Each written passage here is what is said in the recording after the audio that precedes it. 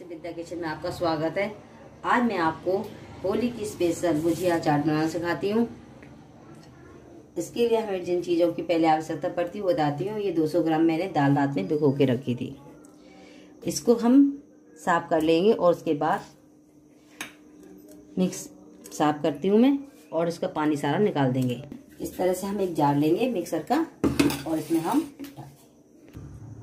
ये थोड़ा सा कटा हुआ धनिया है और दो हरी मिर्च का प्रयोग करेंगे हम।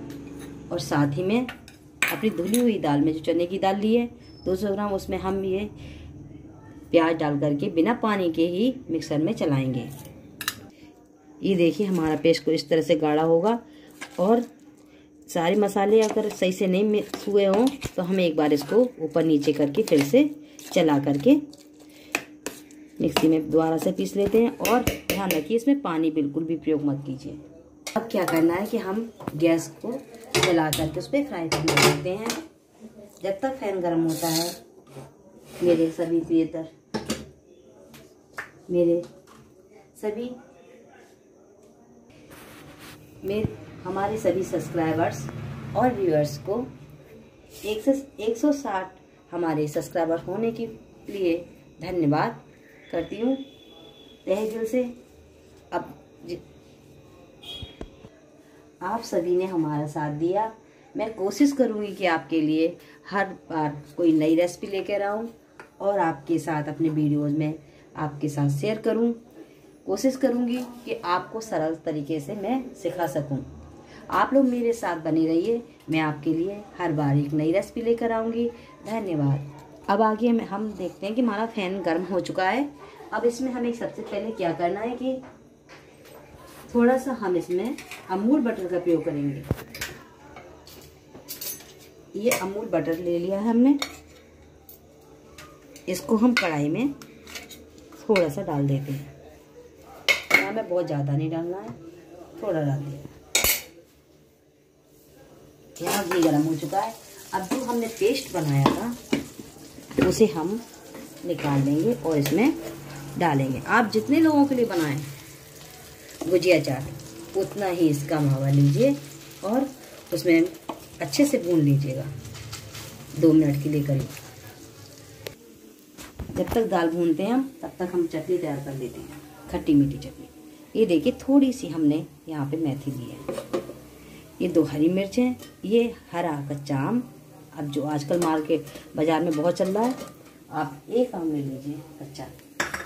मैंने यह बड़ा आम लिया है कच्चा, मीडियम से थोड़ा बड़ा। और ये कट धनिया लिया है। दो हरी मिर्च का मैं यहाँ प्रयोग करूँगी। और नमक, जैसे मैं आपको पहले भी बोलती हूँ, आप स्वाद के अनुसार डालिए। थोड़ा सा पानी ऐड कर देते हैं, क्योंकि इसकी चटनी में थोड़ी पतली बना और इसे मिक्सर से हम पीस लेंगे। देखिए, इसमें हम आधा चम्मच करीब लाल मिर्च पाउडर मिलाएँगे। ये देखिए, हमने लाल मिर्च पाउडर डाल दिया है। और यहाँ हम आधा ही चम्मच नमक का इस्तेमाल करेंगे। अपनी भुजिया के अंदर और इसे अच्छे से मिक्स कर देते हैं। ये देखिए। आधे नींबू के रस को भी हम इसमें मिला देंगे। और फिर से एक बार अच्छे से चलाना है। इसे ऊपर नीचे करके अच्छे से चलाइए। जिससा, जैसे कि हम पहले भी करते हैं कि सारे मसाले एक साथ मिक्स हो जाएँ। इसमें हम थोड़ा सा बटर और यूज़ करेंगे। ये देखिए। और गैस को हम बिल्कुल धीमा ही रखेंगे। गैस देखिए, बिल्कुल धीमी है हमारी। अब हम अपनी चटनी तैयार कर लेते हैं। देखते हैं तैयार हुई कि नहीं। इसमें हम यहाँ पर दो चम्मच करीब पनीर डाल देते हैं। ये देखिए। दो चम्मच हमने पनीर डाला और फिर से एक बार इसको बनाया अब हम गैस को बंद कर देंगे। ये देखिए हमने गैस बंद कर दी?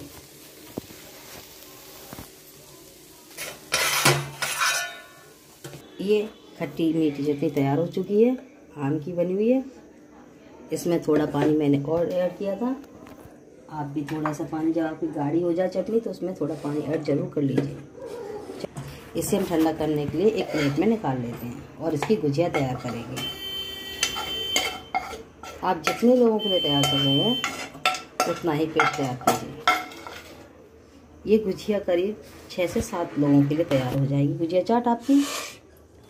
अभी गुजिया चाट किस तरह बनेगी मैं आपको बताती हूँ। ये थोड़ा ठंडा हो जाएगा तब तक हम यहाँ आपको मीठी सौंठ बनाना सिखाते हैं। मीठी सौंठ की चटनी देखिए, कितनी अच्छी बनती है। मैंने यहाँ पे एक बर्तन रख दिया है, गर्म होने के लिए।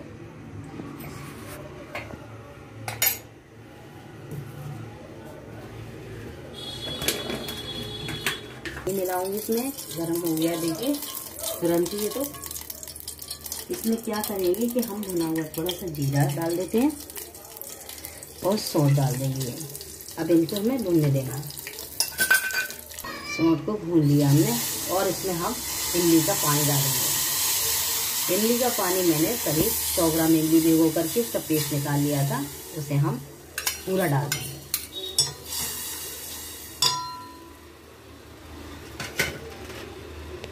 ये 20 से 30 ग्राम ही होंगे, ये इसमें हम डाल देंगे। इसमें आप देख रहे हैं, ये गुड़ मैंने डाल दिया है, और ये 100 ग्राम चीनी है। आपको जितना मीठा अच्छा लगता है सो चटनी उतनी कीजिए। मीठ, चटनी तो मीठी ही अच्छी होती है, इसलिए मैं यहाँ पे 100 ग्राम से थोड़ी ही कम डालूँगी और इसको अच्छे से मिक्स होने देंगे।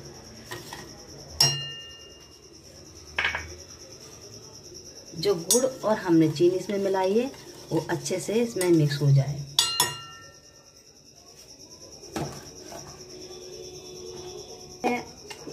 कश्मीरी लाल मिर्च चौथाई चम्मच इस्तेमाल करूँगी।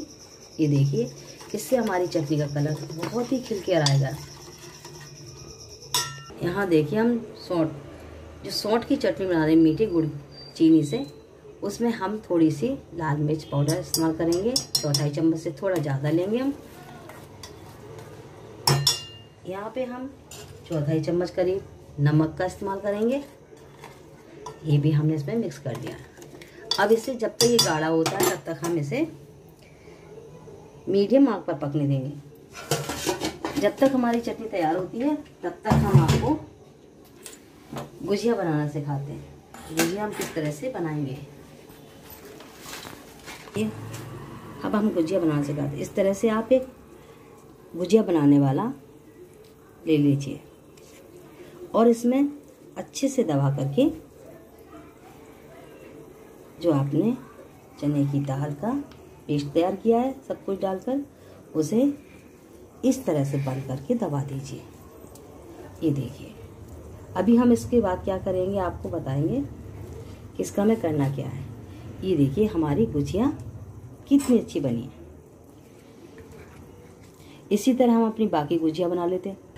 अब देखिए, हमारी सौंठ की चटनी कितनी अच्छी बनी है। अब हम इसे बंद कर देते हैं गैस को। अब हमें गुजिया का क्या करना हम आपको बताते हैं। हमें यहाँ स्टीम करनी है गुजिया। हमने पानी गर्म करने रखा था तो वो भी पूरी तरह उबल लिया है। जब तक हमारा पानी गर्म होगा, तब तक हम इससे घी लगा लेते हैं। ये देखिए, हम यहाँ पर अच्छे से घी लगाइएगा जिससे आपकी गुजिया चुपके नहीं ये हमने यहाँ घी लगा दिया। और हम अपनी गुजिया को एक एक करके इसमें आराम से रखेंगे। स्टीम होने के लिए। ये देखिए, हमारी गुजिया कितनी सुंदर लग रही है। ये देखिए, हमने स्टीम करने के लिए रख दी थी गुजिया। अब हम चेक करते हैं। अभी हमारी गुजिया थोड़ी सी और हमें स्टीम करनी है, क्योंकि दाल अंदर तक पूरी तरह से पक जानी चाहिए। अब गुजिया के लिए हमें दही की आवश्यकता पड़ेगी।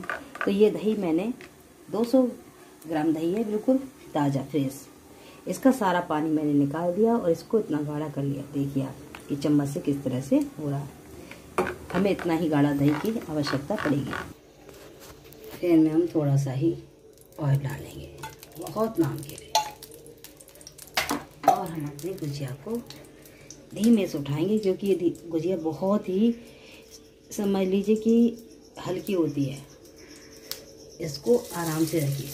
अगर दूसरी चीज़ ये कि अगर आपका पेस्ट अच्छे से नहीं तैयार हुआ होगा तो ये गुजिया बीच में से टूट जाएगी। इसलिए जब भी आप इसका पेस्ट तैयार करें, उसे अच्छे से बारीक तरीके से पीस लीजिए। जो भी आप इसमें सामान मिलाएँ उन्हें मिक्स अच्छे से कीजिए। हम अपनी गुजिया को पलट देंगे। बहुत आराम से उठाइएगा हल्के हाथ से, चम्मच की सहायता से। और ये देखिए, गुजिया हमारी फ्राई होने लगी इसको हम इसे भी पलट देते हैं। ये देख रहे हैं आप कितनी अच्छी कलर आ रहा है इसका? यहाँ देखिए। कौन कहेगा कि आपने बनाई है? खुद बना कर देखिए। ये चाट बहुत अच्छी बनेगी।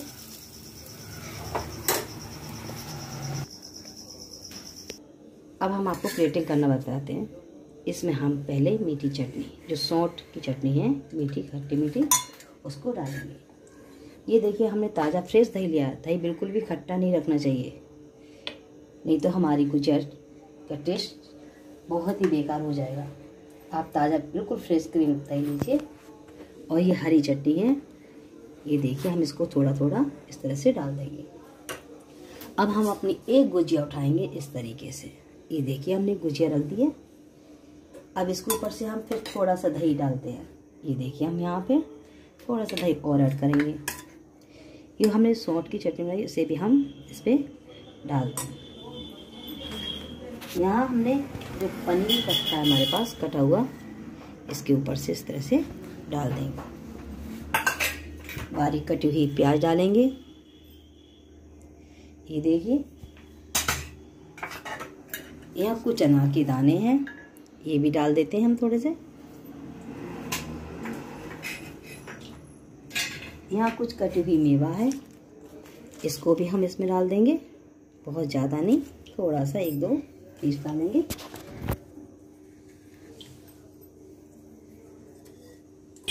अब हम मीठी चटनी को एक बार फिर से इस पर अपनी गुजिया पर डालते हैं। ये गुजिया मीठी होती है। यहाँ सब लोग बहुत गुजिया मीठी का बनाते हैं होली पे। तो मैंने सोचा आप लोगों के लिए कुछ नया बनाते हैं। इसलिए मैंने आपके लिए ये स्पेशल भुजिया चाट बनाई है। ये बहुत ही टेस्टी है, खट्टी है, मीठी है, तीखी है। ये नमकीन सेब बाज़ार से मिल जाते हैं, वो डाल दिया और ये भुना हुआ जीरा डाल रही हूँ मैं, आप देखिए थोड़ा सा ये कटा हुआ थोड़ा सा बारीक धनिया है।